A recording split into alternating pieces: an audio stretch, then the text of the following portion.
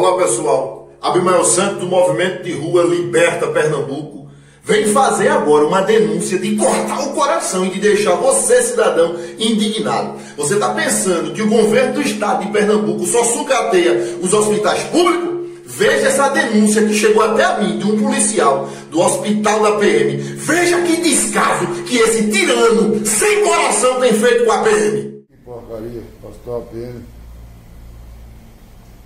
Ó, isso é, é do acompanhante.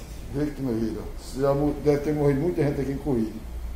Ó, tudo rebocado, tudo saindo dos pedaços. Mufo, pinta, joga uma tinta para esconder o mufo.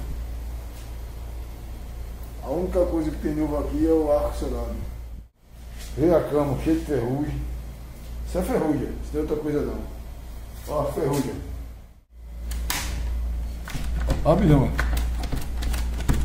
Não abre não. Quem quiser fazer necessidade tem que fazer num, num saco e jogar no meio da cilha. Ó, isso é o chão, não é outra coisa não. Molhado, cheio de, cheio de fungo, bactéria, nojeira, ferrugem, ferrugem que é boia na cama.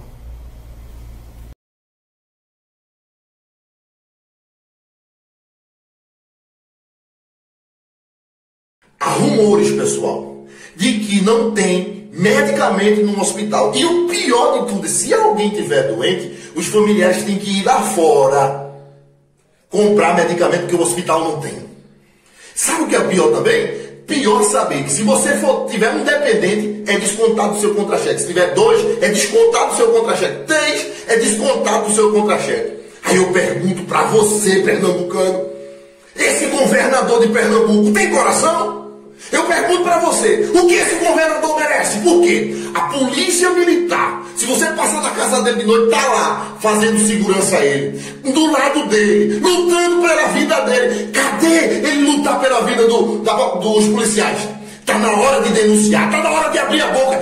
Eles não podem falar, mas Abimael Santos pode. E não tem que me encare, governador, porque eu sou um homem